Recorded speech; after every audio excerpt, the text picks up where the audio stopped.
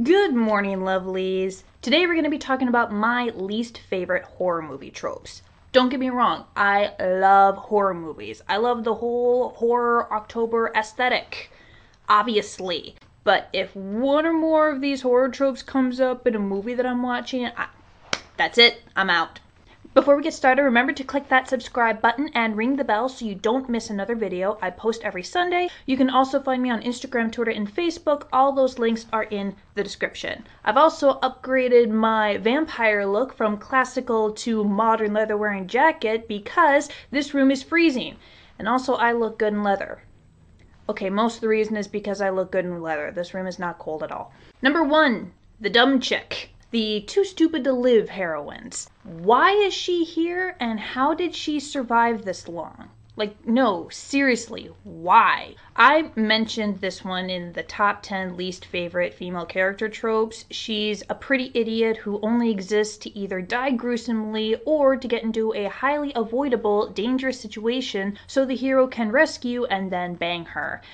And I just hate it. Number two, on a related note, where is everyone's self preservation instincts? Or brain cells? I know that humans can be dumb sometimes. I've studied history, we have a long record of it. But horror movies seem to bring out the greatest stupidity by sheer volume. Let's investigate the spooky mansion without telling anyone where we're going. What could go wrong? I just I just don't get it. I really don't. Smart characters to me heighten the terror of a good horror movie because if you have characters who are really intelligent, who take precautions and like go together in groups and they still end up killed, that's terrifying. But if you have to bring the protagonist down so that it's even feasible for the villain to kill them, then you don't have a particularly scary villain. Number three, everyone split up. We're in a big group with over a dozen people, so the obvious thing to do is to split up into pairs or even singular units so that the sole killer can hunt us all down one by one. Why would you do this? Humans are pack creatures. There's a reason that we live in family groups and cities and socialize. We do that even when there's a pandemic, and we should not do that. So we know on an instinctive level that it is better to stay together, especially in dangerous situations. So why don't they do that in horror movies? Trick question. The writers want an easy way to separate them so that their killer can kill them off one by one. If you want or need your characters to be separated, find more creative ways to do it. It's been done. Number four, whore versus virgin. Guess who lives? So you remember in the 1980s, okay, I don't remember because I was born in 95, but generally speaking in the 1980s, how we tried to scare teenagers away from having sex by having them killed in horror movies and how it didn't work.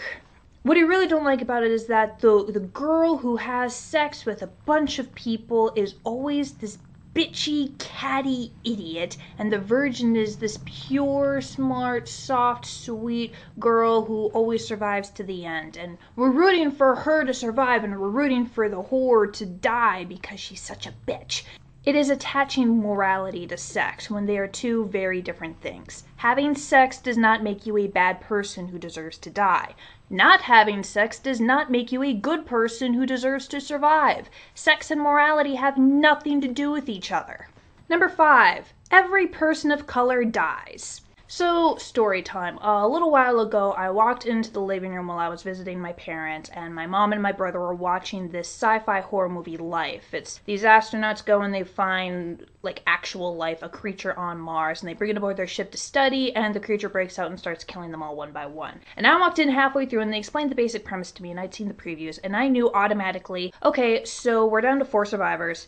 The black person who is, has a disability and is already injured is going to die next. The Asian Asian guy who has a family is going to die after that. And then it's going to take us down to our last two people, a white guy and a white woman. And the guy is going to try to sacrifice himself nobly for the woman. And the real tension of the story is whether or not that's going to work. And I was right.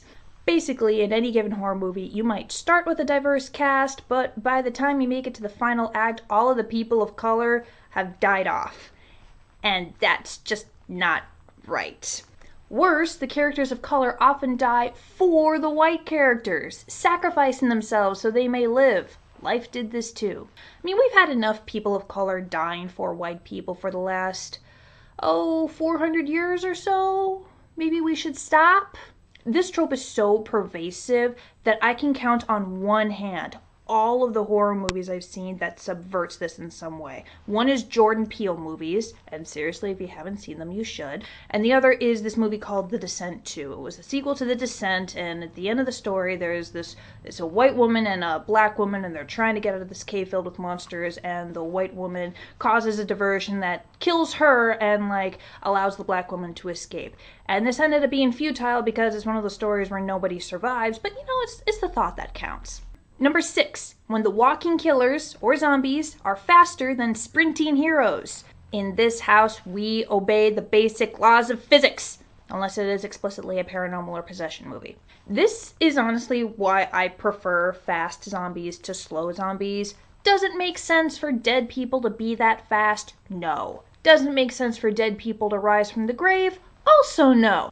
So there's no reason not to do it, and there's no reason for slow zombies to pose a threat, because they will never catch up to a running hero. Speaking of zombies, Number seven, that one person in the zombie movie who hides the fact that they've been bitten by a zombie, thus endangering the lives of everyone around them. Why would you do this? You're dead either way. You might as well get it done quickly with a bullet rather than the slow, agonizing death of a zombie transformation and then chomping on your friends and family, thus condemning them to the same fate.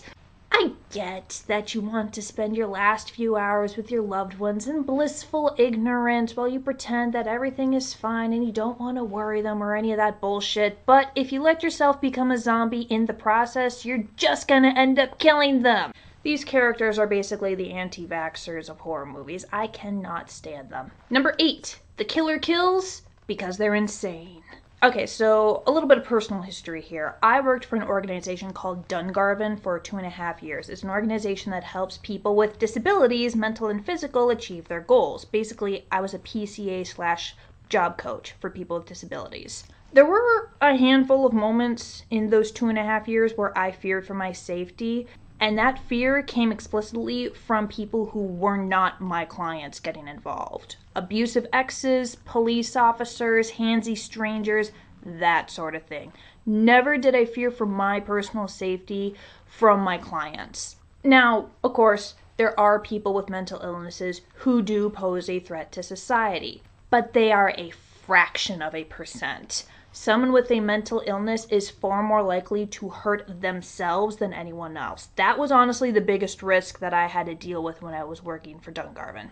In fact, people with mental or physical disabilities are far more likely to be victims of violent crimes than perpetrators. So maybe we should stop villainizing them in these movies? That would be terrific.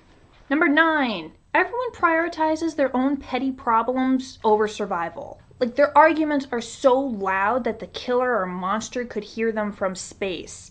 Like, guys, we have way more important things to worry about than who slept with whose boyfriend. Like, maybe we can shelve this discussion when our lives are not in mortal danger. Hello? Anybody? There's always that one person who makes us actively look forward to when they get disemboweled because they're that much of an asshole and they're so freaking petty and they just exist to make the other protagonists' lives utterly miserable until the villain shows up and like murders them. I don't want to root for characters to get killed. I want to fear it. That's the whole reason I sit down to watch this movie sometimes this whole thing is used as a metaphor, like humans are the real monsters. I guess I'm just too much of an optimist for this message. And number 10, the inexplicable resurrection of the villain. Real talk, we all love those monsters and killers who are basically indestructible. Not only does this make them scary because holy hell, how am I supposed to defeat this thing, but it also ensures that we get a few more movies out of the franchise. But I need a reason why blowing them up doesn't work. Especially if this villain that we're supposed to be fearing is a regular human instead of some sort of alien monster or demon or ghost. Like, if it's a supernatural entity, then yeah, I get it. It's supernatural. It, a bullet's not gonna cut it. But if it's just a regular flesh and blood person, I don't care how many people they've killed, shooting them in the head should do it.